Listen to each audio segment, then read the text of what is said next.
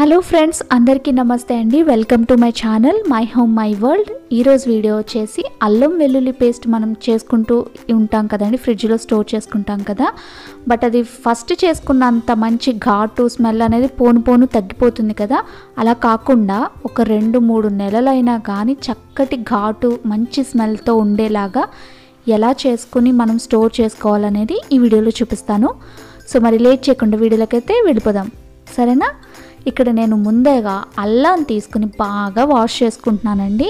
ఇక్కడ మీకు చూపిస్తున్నాను కదా ఈ అల్లాన్ని నేను అప్పటికే రెండు మూడు సార్లు బాగా వాష్ చేశాను అనమాట అందుకే మీకు అక్కడ మట్టి అది కనిపించట్లేదు.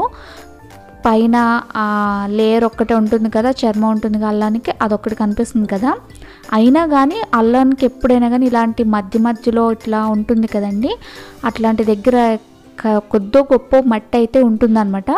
సో ఎంత మనం వాష్ చేసుకున్నా కానీ కొంచెం అల్లం పేస్ట్ చేసుకునేటప్పుడు అయితే మాత్రం ఆ పైన ఉండే పొట్టుని కొంచెం నీట్గా తీసేస్తే బెటర్ అనమాట అంటే మరీ అంత ఎక్కువ తీయకపోయినా కానీ తీసేసుకోవడం చాలా మంచిది. ఎందుకంటే మట్టి ఉంటుంది కాబట్టి ఓకేనా?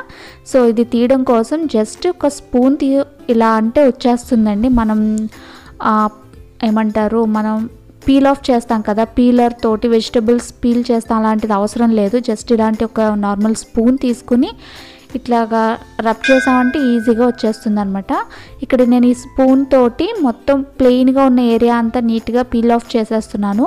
మనకు అక్కడక్కడ ఇట్లా మూలల సైడ్స్ ఉంటాయి చూసారా? అలాంటి చోట మనం స్పూన్తో తీయలేం కాబట్టి స్పూన్ ఇలా రివర్స్ తిప్పుకొని ఇప్పుడు దాంతో ఆ మూలల్ని ఈజీగా ఆ చర్మాన్ని ఒలిచేయచ్చు అనమాట అంటే అక్కడ మనం ఇక్కడ తోలు లాంటిది ఆ తొక్క అనేది లేకపోయినా కానీ ఒకవేళ ఏమన్నా డస్ట్ పార్టికల్స్ ఉంటే ఈజీగా వచ్చేస్తాయి అనమాట సో అప్పుడు మనం మళ్ళీ ఇంకొకసారి క్లీన్ చేసుకున్నామంటే నీట్గా అయిపోతుంది. ఒకవేళ మీకు కొంచెం అల్లం అనేది పెద్దగా ఉండి కొంచెం పర్వాలేదు బాగానే ఉంటే కనుక మీరు ఈ ఇక్కడ ఉండే స్కిన్ని పైన పొట్టుని ఎక్కువగా తీయకుండా ఉంచినా పర్వాలేదండి. ఎందుకంటే ఆ స్కిన్లో కూడా మనకి మంచి ఫ్లేవర్ అనేది ఉంటుందన్నమాట. ఓకేనా? బ మరీ ఎక్కువ మట్టితో అట్లా ఉంటే కనుక ఇలా తీసుకోవడం బెటర్. ఓకేనా?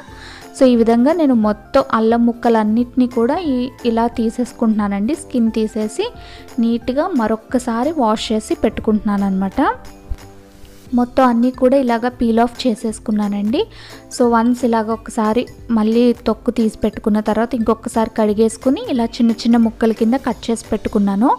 ఇక్కడ నేను వెల్లుల్లిపాయల్ని కూడా నేను అల్లం ఎంత తీసుకున్నానో వెల్లుల్లిపాయలు కూడా అంతే తీసుకున్నానండి.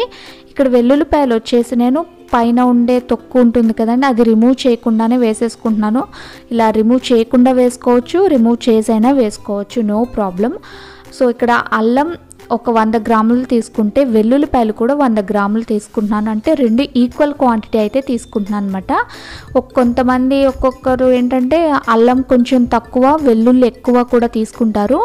సో అలా చేయడం వల్ల ఏంటంటే కొంచెం ఘాట్ అనేది తక్కువ వస్తుంది. కానీ రెండు ఈక్వల్ క్వాంటిటీ తీసుకుంటే కనుక అల్లం వెల్లుల్లి సమానంగా తీసుకుంటే ఘాట్ అనేది ఉంటుందన్నమాట ఇంక ఇక్కడ వెల్లుల్లిపాయలను కూడా ఈ రెబ్బల్ని మొత్తం నీట్గా వాష్ చేసుకున్నానండి. ఎందుకంటే నేను పొట్టు తీయలేదని చెప్పాను కదా ఒకసారి మంచిగా కడిగేసుకుని ఆ పైన ఉండే బూడిద డస్ట్ లాంటిది ఏమైనా ఉంటే పోతుందనమాట ఒకవేళ మీరు పొట్టు తీసినట్టయితే నో ప్రాబ్లం. అలా వేసేసుకోవచ్చు కూడా. ముందైతే ఇక్కడ మిక్సీ పట్టేటప్పుడు మాత్రం అస్సలు ముందు నేను వాటర్ వేయలేదండి. తర్వాత ఒక్కసారి తిప్పిన తర్వాత కొద్దిగా వాటర్ వేసాను. అది కూడా కొంచెం గోరువెచ్చని నీళ్ళు వేసుకున్నాను.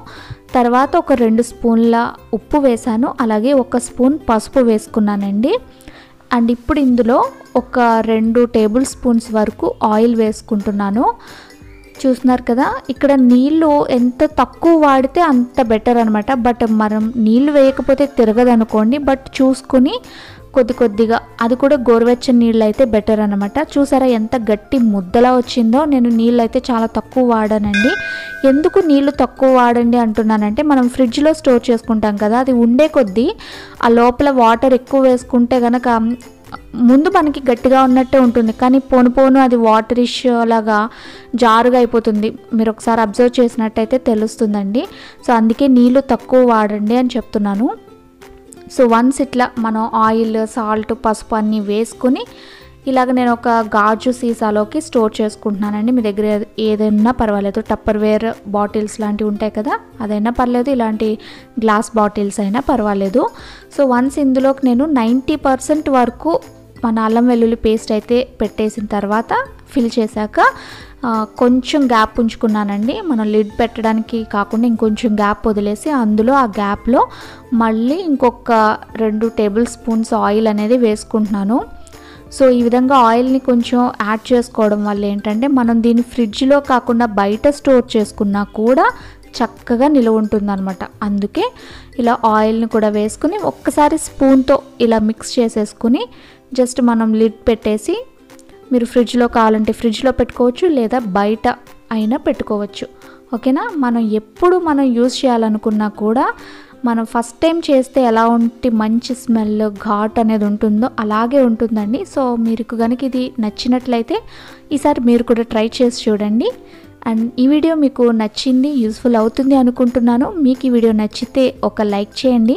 మీరు లైక్ చేయడం వల్ల ఇంకొక నలుగురికి ఈ వీడియో అనేది చేరువ అవుతుంది. ఓకేనా సో అలాగే సబ్స్క్రైబ్ చేసుకోకపోతే ఛానల్ని సబ్స్క్రైబ్ చేసుకోండి. ఓకేనా thank you for watching bye bye